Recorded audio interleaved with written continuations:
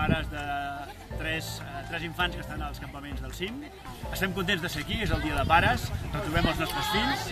Estem contents perquè hem pogut veure on estan, com s'organitzen, juntament amb els monitors. Descomptem, per tant, el campament, eh, un cop ordenat, les tendes plegades, netejat l'entorn. Tenim el goig de poder compartir amb tots els nostres fills i les famílies l'Eucaristia conjuntament.